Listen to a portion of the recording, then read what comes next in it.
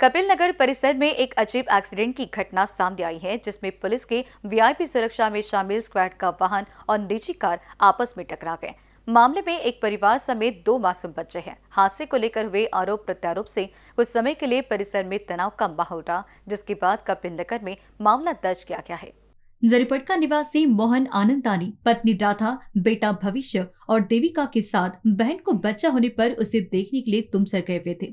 बुधवार की शाम वापस घर जाते वक्त कामटी रोड ग्रामीण पुलिस मुख्यालय के पास पुलिस के सुरक्षा स्क्वाड के वाहन, जो वीआईपी सुरक्षा में शामिल रहता है, उससे टकरा गया जिसके बाद विपरीत दिशा से वाहन चलाने की बात को लेकर उनमें विवाद हो गया। इसी बीच पुलिस ने घटना के सीसीटीवी फुटेज भी चेक की है, जिसके बाद मामला दर्ज किया गया। कैमरा पर्सन अखिलेश भारद्वाज के साथ प्रकाश शुंकलवार की रिपोर्ट।